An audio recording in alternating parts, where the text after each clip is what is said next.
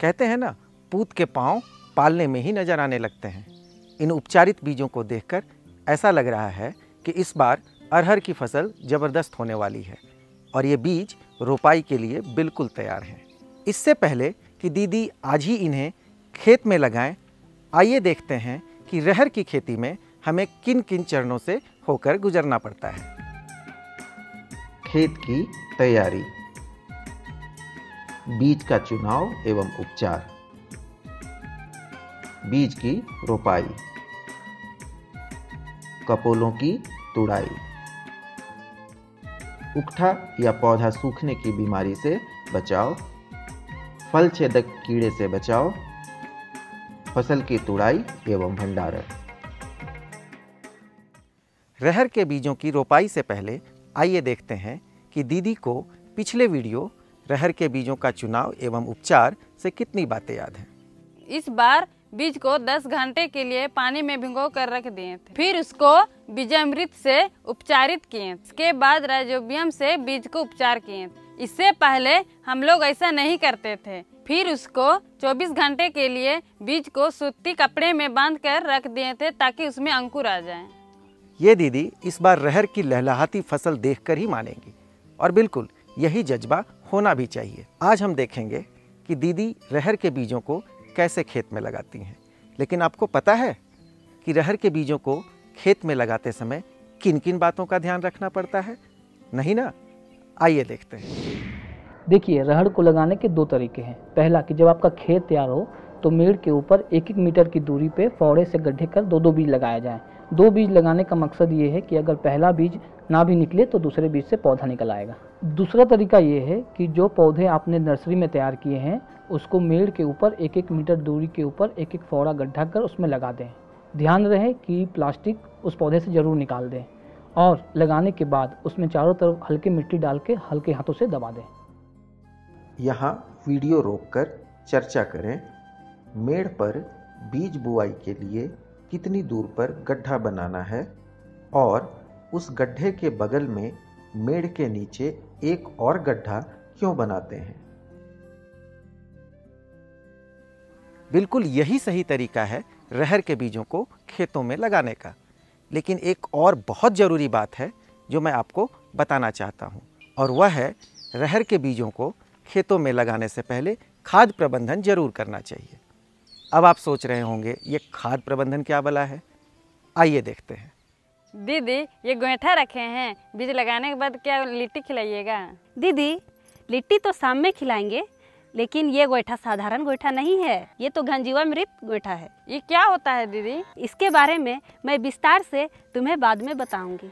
और इसका मैं एक तुम्हें वीडियो भी दिखाऊँगी कि ये कैसे बनाया जाता है। अभी बस इतना समझ लो कि ये घरेलू सामग्री से मिलाकर बनाया जाता है। ठीक है दीदी। चलो पहले बीज लगाने के लिए एक एक मीटर की दूरी पर एक एक फौड़ा गड्ढा बनाते हैं। ये गड्ढे में क्यों दीदी? इसलिए दीदी बरसात के समय में उस गड्ढे में पानी जमा रहे और उस पौधे को अधिक दिन तक नमी मिलती रहे। ये गड्ढे में ही बीज लगाना है ना दीदी? हाँ दीदी हर गड्ढे में एक गोईठा चूर चूर करके डालेंगे। साथ ही साथ ट्राइकोडर्मा मिला हुआ गोबर की खाद हर गड्ढे में 200 ग्राम डालेंगे। इसके बाद ही हम बीज लगाएँगे। 200 ग्राम? लगभग क्या एक अंजूरी हो गई ना दीदी? हाँ हाँ एक अंजूरी ही। चलो पहले गड्ढा बनाते हैं और इन दोनों को डालते हैं। ठीक है दीदी चलिए डालते हैं। चलो दादा को बुलाते हैं गड्ढा बनाने के लिए।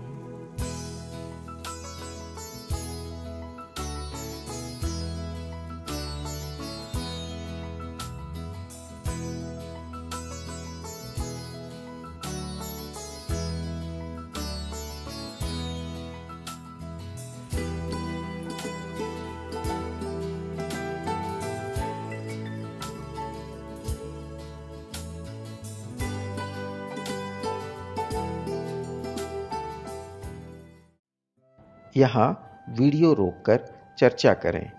बीज लगाने से पहले हमें कौन कौन सी खाद एवं उसकी कितनी मात्रा गड्ढे में डालनी चाहिए?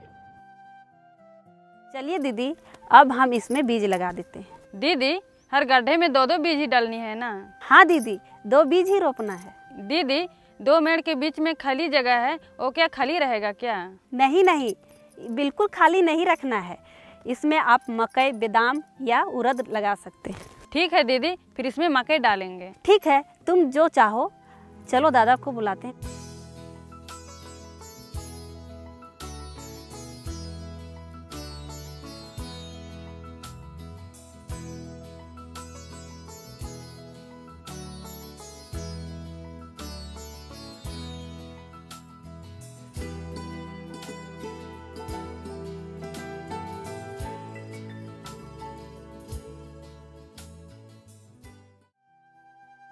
यहाँ वीडियो रोककर चर्चा करें।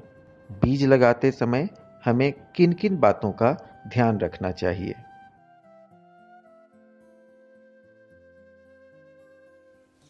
कहते हैं ना कि खूबसूरती इंसान के आँखों में होती है।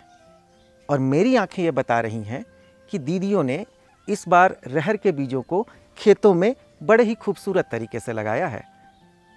मुझे पक्का यकीन है कि इस बार रहर की फ़सल ज़बरदस्त होने वाली है। अब मैं आपको रहर के एक विशेष गुण के बारे में बताता हूँ। रहर के कोमल पत्तों को पीसकर घाव या जख्मों पर लगाने से घाव जल्दी सूखते हैं और घाव पकता भी नहीं है। अब अगले वीडियो में मैं आपको बताऊँगा कि रहर के कपोलों की तुड़ाई कैसे करते हैं। आइए देखते हैं इसकी एक झलक।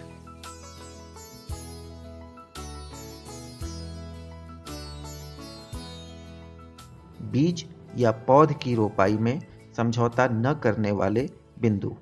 रोपाई के लिए उपचारित एवं अंकुरित बीजों अथवा तैयार किए गए पौधों का ही प्रयोग करें। मेड़ पर एक मीटर के अंतराल पर बीज बोने के लिए गड्ढा बना लें तथा हर गड्ढे की मिट्टी में 200 ग्राम ट्राइकोडर्मा से जमाई हुई गोबर की खाद मिला दें तथा घन जीवामृत का एक गोईठा डालें। हर गड्ढे में दो दो बीजों की बुआई लगभग दो इंच की गहराई पर करें। पौधरोपण के लिए स्वस्थ पौधों का चयन करें। मेढ़ के नीचे बीज लगाने वाली जगह के समानांतर एक एक मीटर के अंतराल में एक एक फावड़ा गड्ढा बनाएँ।